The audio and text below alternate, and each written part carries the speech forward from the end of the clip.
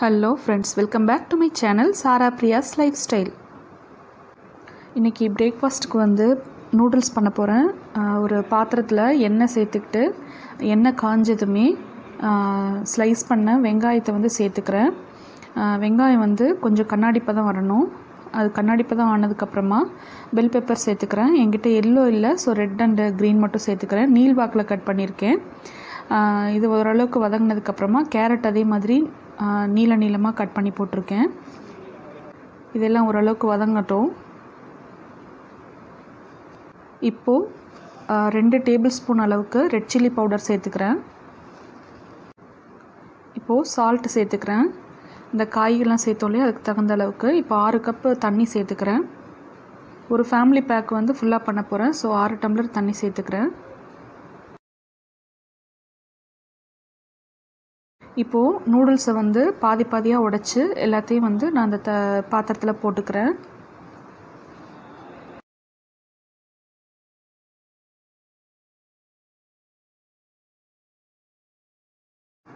நல்லா எல்லாத்தையும் தண்ணியில் டிப் பண்ணிவிட்டு ஒரு தட்டு போட்டு மூடி குக் பண்ண போகிறேன் இப்போ வந்து பாதி அளவுக்கு மேகி மசாலா சேர்த்துக்கிறேன். இப்போ நான் எடுத்தது ஒரு ஃபேமிலி பேக்குன்னா அதில் சரி பாதி அளவுக்கு மட்டும்தான் மேகி மசாலா சேர்க்குறேன். மற்றபடி எனக்கு ரெட் சில்லியும் சில்லி ஃப்ளேக்ஸுமே போதுமானது. இப்போ வந்து சோயா சாஸ் கொஞ்சம் சேர்த்துக்கிறேன்.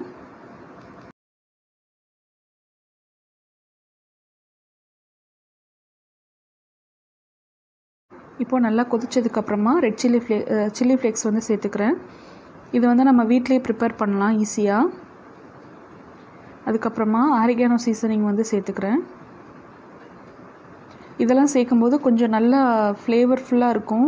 ஸ்மெல்லும் சூப்பராக இருக்கும். நார்மலாக நம்ம நூடுல்ஸ் பண்ணுற மாதிரி இல்லாமல் கொஞ்சம் டிஃப்ரெண்ட்டாக இருக்கும். இப்போ வந்து டொமேட்டோ கெச்சப் சேர்த்துக்கிறேன். இது எல்லாத்தையுமே நல்லா கலந்து விட்டு எடுத்துக்கணும். ஸோ இதை வந்து மூடி போட்டு குக் பண்ணிட்டேன். பார்த்திங்கன்னா சூப்பரான நூடுல்ஸ் ரெடி ஆகிடுச்சு நம்ம நார்மலாக எப்போவும் வீட்டில் செ நூடுல்ஸ் செஞ்சு சாப்பிட்ற மாதிரி இல்லாமல் டூ மினிட்ஸில் போட்டோம் குக் பண்ணோன்ற மாதிரி இல்லாமல் கொஞ்சம் டிஃப்ரெண்ட்டாக செஞ்சு பார்த்தோன்னா டேஸ்ட்டாக இருக்கும். ஸோ பிரேக்ஃபாஸ்ட் முடிச்சுட்டு நான் லஞ்ச் ப்ரிப்பேர் பண்ண போகிறேன் இன்றைக்கி லஞ்சுக்கு வந்து தயிர் சாதம். ஸோ பார்த்திங்கன்னா குக்கரில் ரைஸில் வந்து ஒரு டம்ளர் தண்ணி அதிகமாக விட்டு கொஞ்சம் சாதத்தை குலைவாக வடிச்சுக்கிட்டேன். கொஞ்சம் சாதம் வந்து குழந்தைக்கு தண்ணி எடுத்து வச்சுட்டேன்.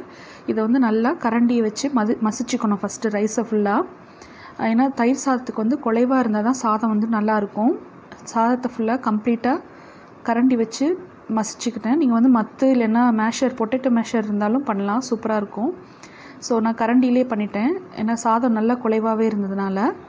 இப்போது அரைக்கப் தயிர் அரைக்கப் பால் ரெண்டையும் கலந்து நான் சேர்த்துக்கிறேன். இதையும் வந்து நல்லா மிக்ஸ் பண்ணிக்கணும்.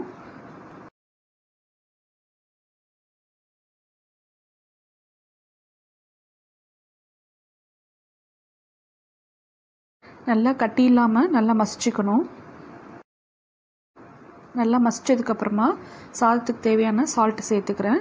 இப்போ ஒரு கடாயில் எண்ணெய் வச்சு ஸோ எண்ணெய் காஞ்சதுமே வந்து அந்த எண்ணெயிலே வந்து முந்திரி பருப்பை ஃபஸ்ட்டு வறுத்து எடுத்துக்க போகிறேன் நீங்கள் வேர்க்கடலை இருந்த நிலக்கடலை இருக்கு இல்லையா அதை கூட நீங்கள் வறுத்து எடுத்து வச்சுக்கலாம். கடைசியாக சேர்க்கும் போது நல்லாயிருக்கும் ஸோ அந்த எண்ணெயில் எண்ணெயிலே வந்து ஃபஸ்ட்டு முந்திரி பருப்பை நல்லா ஃப்ரை பண்ணி எடுத்து வச்சுக்கிட்டேன். நீங்கள் வேணும்னா நெய்யில் கூட வறுத்து போடலாம் பட் இதுவே நல்லா டேஸ்ட்டாக தான் இருக்கும். ஸோ அதே எண்ணெயிலே வந்து கடுகு உளுத்தம் பருப்பு இதெல்லாம் சேர்த்துக்க போகிறேன்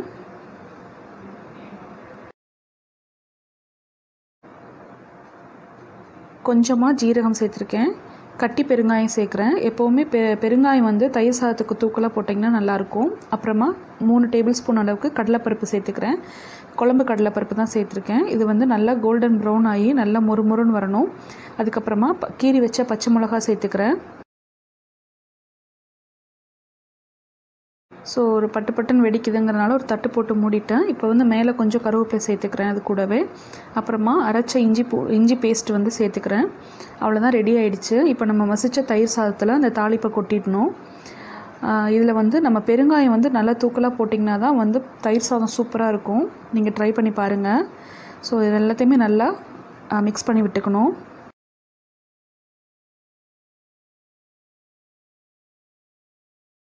இப்போது எல்லாத்தையும் கலந்ததுக்கப்புறமா மாதுளம்பழம் வந்து நான் க உரித்து வச்சுருந்தேன். அதையும் நான் சேர்த்துக்கிட்டேன். இது வந்து அந்த புளிப்போட இனிப்பு எல்லாமே கலந்த ஒரு டேஸ்ட்டு கிடைக்கும். நீங்கள் கருப்பு கருப்பு திராட்சை இருந்தாலும் சேர்த்துக்கலாம். ரொம்ப டேஸ்ட்டாக இருக்கும். அப்புறமா கொஞ்சமாக மாங்காய் வந்து இருந்தது. அதையும் கொஞ்சம் பீஸ் பண்ணி போட்டு சேர்த்துருக்கேன் ஸோ எல்லா டேஸ்ட்டும் கலந்து அவ்வளோ நல்லாயிருக்கும் நீங்கள் ட்ரை பண்ணி பாருங்கள் அதுக்கப்புறம் ஃபைனலாக முந்திரி பருப்பு வந்து சேர்த்துக்கிறேன். வறுத்து வச்ச முந்திரி பருப்பு. ஸோ சூப்பரான தயிர் சாதம் ரெடி ஆகிடுச்சு இது ரொம்ப ஈஸியாகவும் பண்ணிடலாம் குயிக்காகவும் பண்ணிடலாம். நீங்கள் ட்ரை பண்ணி பாருங்கள் ஃபைனலாக கொத்தமல்லி வந்து தூவிடுறேன். ஸோ இதுக்கு வந்து சைட் டிஷ்க்கு வந்து நான் உருளைக்கிழங்கு மசியல் தான் பண்ண போகிறேன் அதே அந்த தாளிச்ச க- அதே கடாயிலேயே வந்து கொஞ்சமாக எண்ணெய் விட்டு கடுகு உளுத்தம்பருப்பு சேர்த்துருக்கேன். அது கடுகு நல்லா பொரிஞ்சதுக்கப்புறமா கொஞ்சமாக ஒரு சின்ன வெங்காயம் வந்து கட் பண்ணி போட்டிருக்கேன். கண்ணாடி பதம் ஆனதுக்கப்புறமா ஒரு வேக வச்ச உருளைக்கிழங்கு சேர்த்துருக்கேன். கொஞ்சமாக சாம்பார் பொடி சேர்த்தேன். கொஞ்சமாக மஞ்சள் பொடி அப்புறம் தேவையான அளவு உப்பு அவ்வளோதான் இது எல்லாத்தையுமே வந்து நல்லா மிக்ஸ் பண்ணிக்கணும். இது வந்து ரொம்ப ஈஸியாக செஞ்சிடக்கூடிய ஒரு டிஷ்ஷு தான். ஸோ இது வந்து தயிர் சாதத்துக்கு தொட்டுக்கிறதுக்கு ரொம்ப நல்லாயிருக்கும். எல்லாத்தையுமே வந்து அந்த கடாய் சூட்லேயே வந்து நம்ம பரட்டிகிட்டே இருந்தோம்னா அந்த பொடியோடைய பச்சை வாசனைலாம் போயிடும். உருளைக்கிழங்கு கூட அந்த பவுடர் எல்லாமே நல்லா மிக்ஸ் ஆகி அப்படியே கடாயில் ஒட்டாமல் வரும். ஸோ அந்த மாதிரி ஆனதுக்கப்புறமா நீங்கள் அதை அப்படியே டேரெக்டாக சர்வ் பண்ணலாம். ஸோ சூப்பரான உருளைக்கிழங்கு மசியலும் ரெடி ஆயிடுச்சு. லஞ்சுக்கு அப்புறமா வந்து வீட்லேயே சாக்லேட் ப்ரிப்பேர் பண்ணலாம் அப்படின்னு சொல்லிட்டு ஒரு ஐடியா வந்தது. அதுக்கு வந்து அடி கனமான பாத்திரத்தில் ஒரு கப் சுகர் எடுத்திருக்கேன்.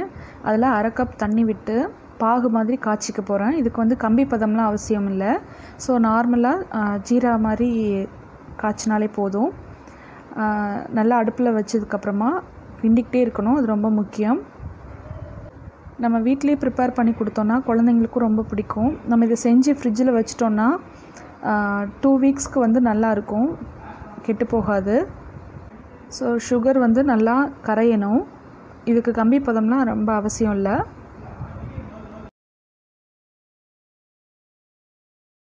ஸோ நல்லா சர்க்கரை வந்து கொதிச்சிருச்சு.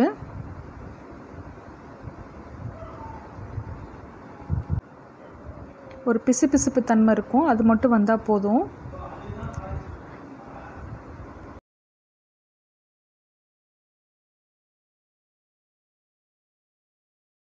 இந்த பிசுபிசுப்பு தன்மை இருந்தாலே போதும். சாக்லேட் பண்ணுறதுக்கு கரெக்டான பதம் தான் அது. ஸோ பா நல்லா சர்க்கரை வந்து கரைஞ்சிருச்சு. இப்போது ஒரு கப்பு எந்த கப்பில் வந்து சுகர் எடுத்தோமோ அதே கப்பில் வந்து பால் பவுடர் வந்து எடுத்திருக்கேன். நீங்கள் நார்மலான பால் பவுடர் எடுத்துக்கலாம் அமுல் இந்த மாதிரி எல்லாமே. ஸோ அது போட்டதுக்கப்புறமா கொஞ்சம் கைவிடாமல் கிளறிக்கிட்டே இருக்கணும். கொஞ்சம் அடுப்பை வந்து மீடியம் ஃப்ளேமில் வச்சுக்கோங்க. ரொம்ப ஃபுல் வச்சுக்க வேண்டாம். சிம்லையும் வைக்காதீங்க. ஸோ மீடியம் ஃப்ளேமில் வச்சு நல்லா கலந்துக்கிட்டே இருந்தீங்கன்னா பால் பவுடர் வந்து நல்லா கரைஞ்சிரும். கட்டி இல்லாமல் நல்லா கரைச்சிக்கணும்.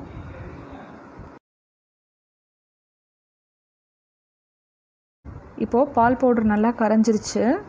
அதுக்கப்புறமா மூணு டேபிள் ஸ்பூன் அளவுக்கு கொக்கோ பவுடர் வந்து சேர்த்துக்கிறேன். நீங்கள் என்ன ஃப்ளேவர் வேணாலும் சேர்த்துக்கலாம்.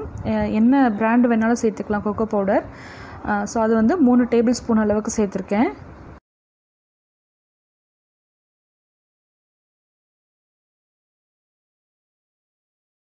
அது வந்து நல்லா கலந்துக்கிட்டே இருக்கணும். ஓரளவுக்கு வந்து கொஞ்சம் ட்ரை பவுடராக இருக்கிறதுனால மிக்ஸ் ஆகிறது கொஞ்சம் கஷ்டமாக இருக்கும். நீங்கள் கொஞ்சம் கைவிடாமல் கிளறிக்கிட்டே இருக்கணும்.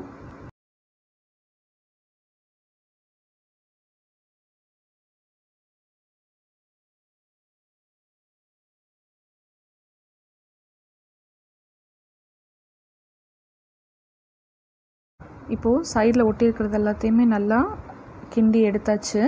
இப்போ ஓரளவுக்கு கிண்டினதுக்கு அப்புறமா அரை கப் அளவுக்கு வந்து நெய் சேர்த்துக்கணும்.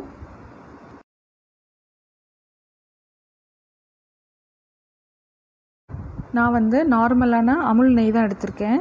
அது வந்து அரை கப் அளவுக்கு எடுத்துக்கிறேன்.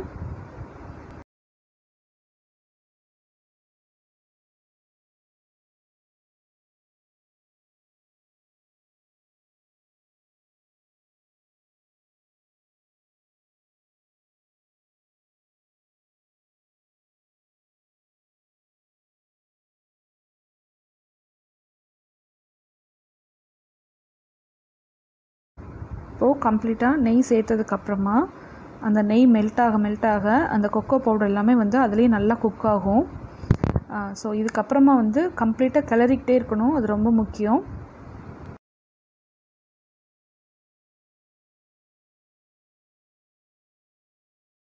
இப்போ பார்க்க வந்து கொஞ்சம் தண்ணியாக இருக்கிற மாதிரி இருக்கும். நேரம் ஆக ஆக வந்து நல்லா கெட்டியாயிடும். அப்படியே மைசூர் பாக்கு பதம் இருக்குது பார்த்தீங்களா அந்த பதத்துக்கு வரும். அது ரொம்ப முக்கியம். ரொம்ப கெட்டியாக ஆகவும் கூடாது. ரொம்ப தண்ணியாகவும் இருக்கக்கூடாது. ஸோ நம்ம கெ கைவிடாமல் கிளறிக்கிட்டே இருந்தோம்னா அது ஒரு கெட்டியான மைசூர் பாக் பதத்துக்கு வரும். இப்போ பாருங்கள் எல்லாமே அந்த ட்ரை பவுடர் எல்லாமே மிக்ஸ் ஆகிடுச்சு அந்த பால் பவுடர் எல்லாமே வந்து குக் ஆகுது நல்லா.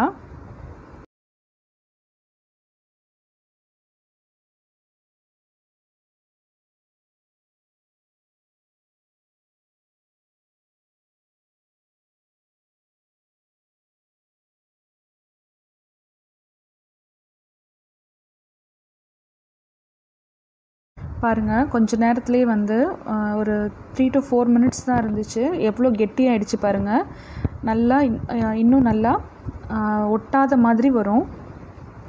ஸோ இந்த பதம் வந்து கரெக்டாக இருக்கும் நமக்கு. இதை வந்து நம்ம ட்ரை ஆகும்போது நமக்கு இறுக்கமாகிடும் இதை வந்து நம்ம நல்லா கிளறி கெ கிளறி எடுத்தாச்சு. இப்போது ஒரு தட்டில் வந்து நெய் வந்து தடவிருக்கேன். இதை நல்லா க்ரீஸ் பண்ணதுக்கப்புறமா நம்ம அந்த சாக்லேட்டை வந்து தட்டில் கொட்டிக்கணும்.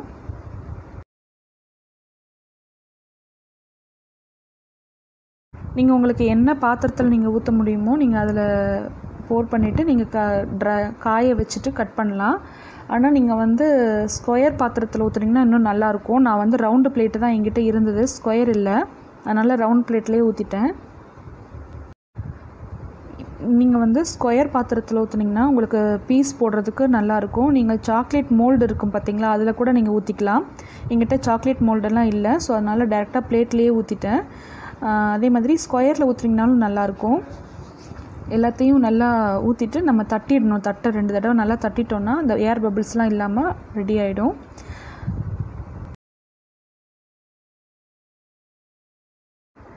இதில் வந்து நான் முந்திரி பருப்பு வறுத்து வச்சுருந்தேன் நெய்யில் கொஞ்சம். அதை வந்து நான் மேலாப்பில் கொஞ்சம் டெக்கரேட் பண்ணுறேன் நீங்கள் வந்து வால்நட்ஸு பாதாம் கிஸ்மிஸ் எதுவாக இருந்தாலும் நீங்கள் வந்து டெக்கரேட் பண்ணுறதுனா பண்ணிக்கலாம்.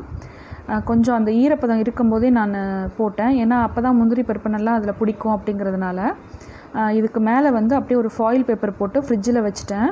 மறுநாள் வந்து எடுத்தேன். பார்த்திங்கன்னா இந்த மாதிரி நல்லா ட்ரையாக இருக்குது சுற்றி இருக்கிறது வந்து அந்த கீ வந்து ஒட்டியிருக்கிறதுனால அப்படி இருக்குது கொஞ்சம் ஹார்டாக இருந்தது. கொஞ்சம் இலக்கமானதுக்கப்புறமா ஒரு ஃபைவ் மினிட்ஸ் வெளியில் வச்சதுக்கப்புறமா பீஸ் போடும்போது கரெக்டாக இருந்தது. நான் முந்திரி பருப்பு வந்து ஆர்டராக வைக்காததுனால கொஞ்சம் சரியாக வரல. அதுக்கப்புறமா ஆப்பிள் கட்டரில் நான் கட் பண்ணேன். எனக்கு சூப்பராக வந்தது.